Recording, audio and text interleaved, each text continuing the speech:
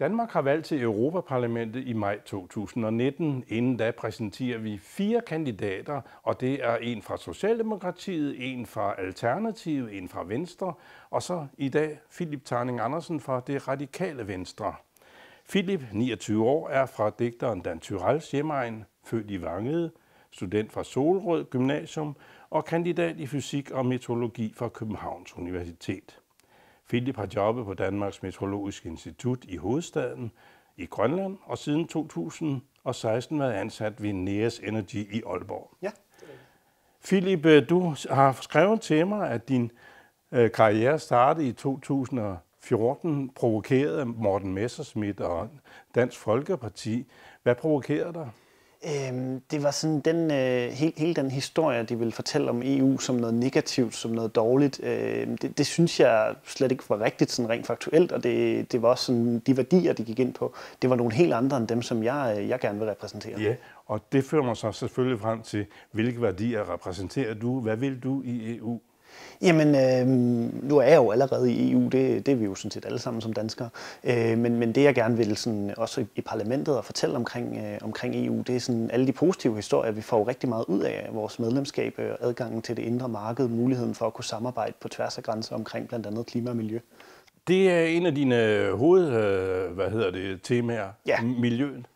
Ja. Hvad vil du gøre ved miljøet i EU som en af de hundredvis af parlamentarikere?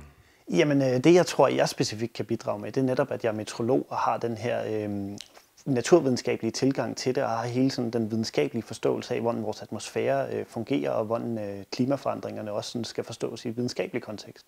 Øh, og det er der faktisk ikke, sådan, så vidt jeg kan se, nogen i parlamentet i øjeblikket, der rigtig har. Øh, så der vil jeg ligesom kunne bidrage med, med en helt ny vinkel her, øh, for at vi ligesom kan få gjort noget ved, ved i særdeleshed klimaforandringerne, som jeg virkelig synes, at, øh, og som også var det, der motiverede mig til at stille op, at det er næsten for sent at vente til at valget om fem år med at gøre noget ved det. Vi skal gøre, have gjort noget nu. Ja. Kan du konkret sige, hvad vi kan gøre sådan, øh, på kort og på længere sigt? Ja, øh, det, øh, altså, vi skal have reduceret vores øh, udledning af drivhusgasser markant, øh, både, på, både på kort og på lang sigt. Øh, noget af det, som jeg i hvert fald tænker, øh, vi kunne gøre, det var at øh, kigge på biler. Øh, der er rigtig, rigtig mange benzin- og dieselbiler, og øh, der er brug for, at øh, den branche får at vide, jamen nu skal I altså til at udfase dem. De er sådan lidt i gang allerede, men det går en kende langsomt. Øh, helt konkret synes jeg, at vi fra 2025 skulle sige, der skal du ikke sælge nye benzin- og dieselbiler i, øh, i hele EU. Øh, det var en af tingene. Ja, skal vi have elbiler alle sammen så, ligesom øh, i Norge, han har sagt, eller flere ja, flere i altså, hvert fald? Om, om, om de kører på el, eller om de kører på brint, eller ja. et eller andet andet, øh, det, der ikke udleder CO2, det, det går jeg ikke så højt op i, men, men altså, øh, dem, der har en intern forbrændingsmotor, øh, og dermed udleder en masse CO2, det, det kan vi ikke være tilfreds med. I øvrigt så er det også rigtig dårligt for luftkvaliteten. Øh, der er omkring 4.000 danskere hvert år, der dør på grund af luftforurening. Det er selvfølgelig ikke alt sammen fra bilerne, men, men noget af det er fra bilosen. Mm. Øh, og det vil også kunne give os renere luft, hvis vi, øh, hvis vi også har biler, der ikke udleder skadelige øh, gasser. Er der andre årsager til, at du gerne vil springe fra en øh, miljøordførerpost i det radikale venstre, skal vi sige en kometkarriere i partiet, og så til den lidt større scene i Strasbourg og Bruxelles? Øhm, altså jeg vil sige, det er primært for, nu har jeg været meget aktiv inden for radikal ungdom, hvor jeg, som du lige nævner, har været øh, miljø- og klimaoverfører. Øh, og der, øh, der vil jeg jo sådan set gerne nogle af de ting, som vi har snakket om der, dem vil jeg rent faktisk gerne prøve at også gøre til virkelighed, fordi når vi, øh, vi slutter ting i, i radikal ungdom, jamen, øh, så, har vi, så har vi nogle meninger om det, og har faktisk sat os meget godt ind i tingene, men, men det er jo sådan lidt ærgerligt, hvis det så bare stopper der. Jeg vil også gerne sådan prøve at skubbe det lidt videre. Ja. Øh, så det, det er sådan årsagen til, at jeg stiller op. Og som EU-parlamentariker, der bliver du også nødt til at tage stilling til flygtningedebatten, ikke? Det gør jeg. Skal vi have åbne grænser? Skal vi sende alle øh, ud af landet? Eller skal vi øh, samle flygtninge i Ægypten? Øhm, jeg tror, vi skal kigge på for det første, hvad er flygtninge og hvad er indvandrere. Øhm, og så tror jeg, at vi skal i den grad også stå sammen og tænke som et fælles Europa, fordi øh, hvis der kommer måske en eller to millioner flygtninge til hele EU, som er omkring 500 millioner, jamen så er det egentlig ikke så mange per indbygger. Men hvis vi tænker, at det kun er meget få lande, der egentlig skal stå med ansvaret, som man så især i Sverige og i Tyskland, øh, så, øh, så kommer der ikke rigtig noget af det. Så vi skal helt klart have en, en fælles fordelingsnøgle. Øh, hvordan den konkret skulle se ud, det kan man så forhandle lidt om. Jeg tænker, sådan landenes BNP vil være en meget god rettesnor i hvert fald til at starte med. Altså bruttonationalprodukt? Ja, lige præcis. Ja, okay. øh, sådan, så man både har noget om landets størrelse og landets økonomi, fordi det er selvfølgelig klart, at, at alle, øh, bare et land som Polen har for eksempel ikke lige så mange penge som et land som Tyskland, øh, selvom de begge to er ret store lande, men så kunne man ligesom øh, prøve at få en eller anden øh, fordeling der. Men det er der også rigtig mange lande, der desværre ikke vil, og hvis vi nu kunne blive enige om at løfte flok, så, øh, så ville det egentlig ikke være så mange flygtninge, vi skulle tage. Så er der hele indvandrere. Der skal vi have kigget på at øh, have gjort noget ved, at man ikke har lyst til at sætte sig op i en båd øh, og fare ud over Middelhavet med livet som indsats. Øh, fordi man ligesom også skal vide, jamen du kan altså kun komme til at indvandre til EU, hvis, hvis, du, øh, hvis du har noget øh, at bidrage med. Flygtninge skal vi passe på, indvandrere, det er, det er et frit valg. Ja, så du, øh, ja, hvad, hvordan stiller du dig til Jean-Paul Junkers øh, krav om, eller forslag om, at 10.000 mand eller grænsebetjente skal patruljere de ydre grænser i Europa? Er det noget for dig og det er, i hvert fald, det er i hvert fald noget i den tankegang, vi skal, at vi skal have fokus på at beskytte øh, de ydre grænser, i stedet for at bruge en masse fokus på de indre grænser, hvor vi har en masse politibetjent stående nede ved den dansk-tyske grænse. Øh, det, det er altså ikke rigtig noget, der flytter ret meget. Øh, flygtningestrømmen er faldet i, øh, siden, man, øh, hvad kan man sige, siden 2015, men, men det har jo været på grund af aftaler, man har lavet, blandt andet den aftale, man har lavet med Tyrkiet.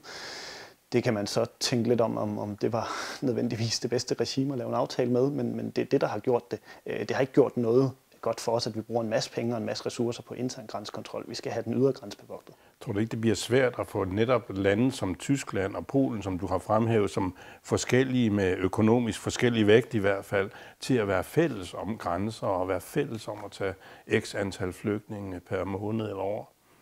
Øh, jo, der er ikke nogen tvivl om, det er, det er en udfordring, men hvis det var nemt, så havde vi jo allerede gjort det.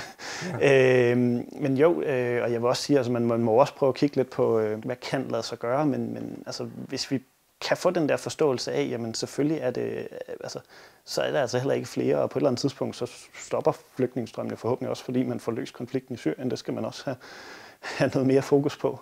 Øh, så, øh, altså, så er det altså en overkommelig opgave stadigvæk, og det, okay. det tror jeg godt, vi kan. Ja. Hvad med dansk miljøs fremtid med, med en landbrugsminister, som, som siger, at han netop hellere vil hedde klima- og miljøminister? Det er da vel et positivt tegn for en radikal politiker, er det ikke? Ja, det var da i hvert fald en opgradering over hans forgænger. Det, det er der ikke nogen tvivl om. Jeg, jeg har ikke været vild med de, øh, med de øh, miljø- og, og fødevareministre, der har været i regeringen indtil videre. Okay. Der er Jacob Ellemann, der er i hvert fald den bedste af dem. Øh, men øh, det, det er jo selvfølgelig også øh, en ting af, hvad man siger, når man, når man træder til. Øh, man skal mm. også kigge lidt på, hvad, hvad vil man så, øh, så øh, gøre sådan rent praktisk. Øh, der er nogle regler omkring, hvordan man skal sprøjte og sådan noget til vandløb og sådan noget. Det er egentlig interne danske regler. Dem, ja. det, hvad kan man sige, det giver mest mening, at man regulerer det nationalt. Øh, men ellers så, øh, så sådan for landbruget, der synes jeg også, vi skal til at have en dimension med af, af klimapåvirkningen fra landbruget. Øh, noget af det allerstørste på EU's budget, det er hele landbrugsstøtten. Øh, jeg synes faktisk, det er virkelig, virkelig mærkeligt, at vi ikke stiller større krav til, til at de så også skal have en mere klimavenlig produktion. Ja, du er vel egentlig en, øh, en progressiv radikal, øh, øh når du øh, for eksempel siger, at at benzin og, og diesel skal udfases. Det er sådan lige øh, på kanten af, hvad de radikale forlanger i dag, er det ikke det? Øh, ja, det har det, har det været, men, men faktisk her til vores landsmøde, der er det udspil, der kom fra Folketingsgruppen, det indeholder faktisk også, at vi skal, øh, at vi skal udfase benzin- og dieselbiler fra 25 øh, og arbejde for det på europæisk plan. Så øh, man kan sige, øh, det har ikke altid været radikal politik, mm. men det har noget, været noget af det, jeg faktisk inden for radikal ungdom har skubbet på for.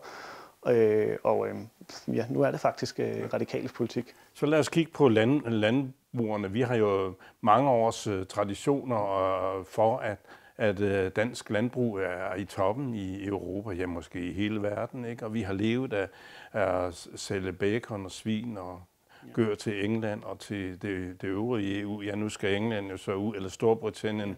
Det ser vi på. Men hvordan skal landbruget leve i fremtiden i din terminologi? Øhm, jeg tror, de skal i hvert fald tage et kig på, hvis, øh, vi skal tage et kig på kødproduktionen. Øhm, hvis vi skal have en, et klimavenligt landbrug, så øh, enten kræver det, at vi finder en meget mere klimavenlig måde at producere kød på, eller også så kræver det, at vi simpelthen skærer noget mere ned på det. Øh, og det synes jeg jo egentlig ikke nødvendigvis er så meget imod landbrugets interesse, fordi om de bruger en mark til at dyrke korn på og lave mere plantebaseret kost, eller om det er med kød, jamen det er jo begge to noget, der begge dele noget, der foregår inden for landbrug. Øh, og hvis vi virkelig kan, øh, kan skubbe på for, at, øh, at plantebaseret kost også er noget, man, øh, man sådan faktisk synes er meget lækkert, som man egentlig også gør i andre steder i verden. Øh, I Europa er vi nogle af dem, der spiser allermest kød, og i særdeleshed i Danmark. Øh, så tror jeg nu godt, man kan, øh, man kan komme et, et stykke af vejen med den. Øh, og især også inden sådan nogle lande som Japan og øh, Kina og Indien lige pludselig vil have en hel masse mere kød, fordi det er sådan, vi gør i Vesten. Du siger, at dansk landbrug skal være omstillingsparat og gå fra køddrift til plantedrift i større udstrækning? I hvert fald i, i, hvert fald i en vis grad, ja. ja. Øhm, hvad, hvad skal vi gøre med fiskeriet? Har dansk fiskeri en fremtid nu, hvor Storbritannien til marts næste år går ud af EU? Det håber jeg meget, de har, men det kræver jo, at der er nogle fisk at fange også på lang sigt. Mm-hmm. Øhm, fordi øh, det er jo også derfor, de her kvoter, jamen det, det er jo ikke noget, vi gør for at genere folk, men, men jeg kan godt forstå, at det er ret svært at leve som fisker med de her kvoter. Øh, men problemet er jo bare, hvis, øh, hvis vi bliver ved med at overfiske i Nordsøen, øh, eller i hvert fald, hvis vi, hvis vi fanger alt for mange fisk, jamen, så til sidst så er der ikke nogen tilbage, så kan vi gå ud og fange plastik i stedet for, og det kan vi ikke leve af. Nej. Øh, danske fiskere siger jo, at de har øh, årtiers traditioner og øh, tilladelser til at fiske i, i Storbritanniens farvand, men nu går de ud, og skotske fiskere, som vi har talt med, de siger, at de vil altså godt have, have større fiskerettigheder selv. Så der sker en konflikt, eller hvad? I, der er ikke nogen tvivl om, det er en af de store udfordringer på Brexit, og jeg vil sige, jeg, jeg er nok ikke lige den, der kan sige, hvad, hvad det her ender med, men, men jeg håber at det ender med, at man også kan, kan lave en eller anden form for samarbejde, men øh, om man, altså ellers så må man jo tilbage til at fiske i sin nationale farvand, men jeg synes, det er ærgerligt, hvis man på den måde sådan, også har grænsebommen for fiskeri. Brexit betyder stor omvæltning om et års tid. Det gør det Hvordan skal EU organiseres efter, at Storbritannien er ude af EU? Jeg vil sige, uanset om Storbritannien var med eller ej, så skal man jo kigge lidt på, hvordan, hvordan kan vi gøre EU mere smidigt, og hvordan kan vi få taget nogle beslutninger, i stedet for at blive ved med sådan at stå og træde lidt frem og tilbage på stedet, fordi det tror jeg ikke, der er nogen, der er godt tjent med. Jeg kunne faktisk godt se løsningen være, at vi på nogle punkter også samarbejder endnu mere i, i EU og laver nogle, nogle flere overstatslige samarbejde. Jeg ved godt, det måske ikke er det, der super populært at sige i øjeblikket. Men de her overstatslige samarbejder er bare mere effektive til at få nogle ting igennem, sådan, så der ikke er et land, der sidder og blokerer. Fordi de siger, at ah, det er ikke lige godt for os, men hvis det er godt for helheden i Europa, så ja. det er jo det, vi skal se på. Du siger overstatslige afgørelser, ja. Det er jo ikke så populært mange steder. Nej, men øh, jeg tror nu stadigvæk, det er det, der er mest effektivt. Okay, øh, så, så lad os tage en konflikt. Uh, Ungarn har jo ja. Orbán, en, øh, ja, han er, bliver jo påstået at være diktator og, ja. og kører helt sit egen løb. Det har han i hvert fald gjort i flygtningepolitikken og vil afskærme Ungarn fra det øvrige EU. Det er der nogen der vil, i EU, der vil straffe Ungarn for. Hvor står du i den sag? Det skal vi i hvert fald også. Man skal holde sine, hvad skal man sige, holde sine venner tæt, men holde sine fjender endnu tættere. Øh, men mm. der er ikke nogen tvivl om, at det skal have en konsekvens, fordi de ting, der foregår i Ungarn, øh, hvor Orbán ja, på nærmest diktatorisk vis er ved at have afskaffet hele pressefriheden også, øh, det, det, det fungerer ikke, og det skal, det har man jo så også øh, faktisk i, i parlamentet for, for kort tid siden øh, vedtaget, det, med man, det, det, skal have, det skal have nogle konsekvenser. Øh, I første omgang må det være en eller anden form for økonomisk konsekvens. Hvis der virkelig ikke sker noget, så må man overveje, skal vi fratage Ungarn stemmeretten. Øh, jeg synes, det ville være rigtig ærgerligt, hvis man får skubbet Ungarn helt ud, for det er jeg ikke sikker på, at den, er den bedste situation, vi stillede med, men, men det skal helt klart have nogle konsekvenser. Men der er jo andre østeuropæiske lande, der lider økonomisk og har diktatoriske øh, sådan, tendenser i styret, ikke? så det, det, bliver en, øh, det bliver svært at få samling i EU fremover, gør det ikke det? Øhm, der er ikke nogen tvivl om, at, øh, at vi, skal, vi skal blive ved med at presse på de demokratiske tendenser, men der er ikke nogen tvivl om, hvis man ser, hvordan det sådan er gået i min levetid i Østeuropa, så er der ikke nogen tvivl om, at det er gået ret meget fremad. Mm. Øhm, og, øh, men, men det er selvfølgelig også klart, at man skal også holde øje med, hvad der sker i Polen og Rumænien. Øh, at, at vi ikke kommer den retning. Øh, og det er også derfor, man bliver nødt til at, ligesom at sætte et eksempel og sige, at vi kan altså ikke leve med, at de, øh, at de øh, går på kompromis med demokratiet. EU skal i den grad være demokratiets vogter. Vi startede med, os, at du øh, blev provokeret af at, øh, at gå ind i politik ved, at DF øh, havde nogle ekstreme synspunkter i din ja. optik. Øh, øh, Dansk Folkeparti vil have os helt ud af EU, og ja. jeg skal da lige høre, hvad du vil. Ja, jeg vil bestemt i hvert fald ikke have os ud af EU. Ja, det, det, det, det, det, det, det kan der ikke være nogen tvivl om. Øh, Men, øh, Radikale Venstre er et EU-venligt parti. Ja, jeg så også meget gerne, at vi fik afskaffet ja. det danske forbehold, men det er jo sådan set ja. Folketinget mere end Europaparlamentet, der skal gøre noget for det. Lad os lige få en øh, bemærkning om den. Vi har unionsborgerskabet, ja. og den er, ja, hvordan står vi i det? Ja, det, hvad kan man sige, det er jo sådan det forbehold, der er gået lidt i glemmebogen, fordi det, det betyder ikke sådan det helt store, men, men grundlæggende set, så synes jeg jo, at du må som unionsborger have, have ens rettigheder okay. øh, inden for EU, hvis ja. vi skal have et indre marked, der fungerer.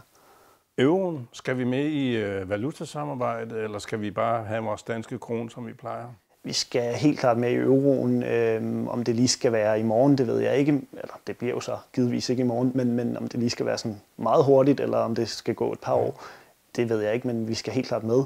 I øjeblikket har vi fastkurspolitik, så effektivt set, så har vi jo euroen, vi ganger bare op eller dividerer ja. ned med 7,5. Mm. Øhm, hvis vi skal have nogen chance for at påvirke verdensøkonomien, så skal vi være med i det europæiske samarbejde, der er, fordi den danske krone har ikke nogen magt i verdensøkonomien. Det har Forsvarssamarbejde, hvad med det? Det har det vi stået være, uden for os. Ja, og det, det synes jeg også er virkelig ærgerligt, fordi øh, vi ser jo netop øh, i særdeleshed, når Trump han begynder at sætte spørgsmålstegn ved NATO, jamen øh, så vil det eneste modsvar, vi vil kunne have, det var, hvis vi så kunne stå sammen i Europa. Det kan vi måske også godt, men der vil Danmark ikke kunne være med. Det synes jeg, der vil være ærgerligt, så netop også for at have en stærk modvægt til, øh, til et USA øh, og deres store militær, så vil, øh, vil et europæisk forsvarssamarbejde da være rigtig godt. Og lige i den forbindelse, den amerikanske præsident, han siger jo America first. Skal vi sige Europe first, Europa først i enhver sammenhæng? Nej, det skal vi ikke. Øh, vi, skal, vi skal absolut øh, indgå samarbejder også på, på tværs af landene, og vi ser også, at vi indgår samarbejder med de steder, der vil det. Man, man ser det med Kanada, med Japan, hvor man ja. uh, laver frihandelsaftaler. Øh, og det, det er sådan noget, vi skal gøre, og så skal vi i virkeligheden også tænke på, om vi i Europa ikke også kan prøve at hjælpe Afrika lidt mere, inden Kina de lige pludselig kommer og har overtaget hele showet, så, øh, så de styrer det. Men det kunne jo hurtigt blive dyrere for, for Danmark, hvis man skulle følge Macron i Frankrig og idéerne om et fælles europæisk forsvar, altså og vi går ud af NATO, ikke, så bliver det da dyrt at, ja, at være dansker. Jeg tror heller ikke nødvendigvis, vi skal gå ud af NATO, men, men øh, jeg vil så sige, at altså, i øjeblikket der er vi da ved at øge vores forsvarsudgifter væsentligt, fordi Donald Trump siger det, og det virker næsten til ja, okay. at være den eneste begrundelse ja. for, at vi kan nå op på en eller anden tilfældig 2% forbrug. Mm. Lad os da kigge på, hvad skal vi bruge af forsvar, og så bruge de penge, der er nødvendige. Ja. Vi har snakket med, med øh, folk, der er mere EU-skeptiske end nu de radikale er. For eksempel siger Niels Havsgaard jo, at folk er ikke interesseret i EU. De kan bedre overskue den store bagedyst og vild med dans. Hvad, hvad, hvad siger du til det, det udsagn? Jamen, jeg tror simpelthen også, folk bedre kan overskue Vild med Dans eller Den Store Bagedyst. Øh, det, det er lidt mere simple, ja. simple formater. Ja. Øh, men, men er EU for stor til at overskue for den almindelige dansker? Øhm, både ja og nej. Altså, jeg kan godt se, at det, det kan virke som et uh, stort og uoverskueligt område, men, men hver gang du så kommer ind på et eller andet område, jamen, så er der næsten altid noget, som, som handler om, at vi også skal arbejde sammen på tværs af grænser. Ja. Og det er jo netop der, EU er rigtig, rigtig godt, for det kan sætte nogle fælles rammer.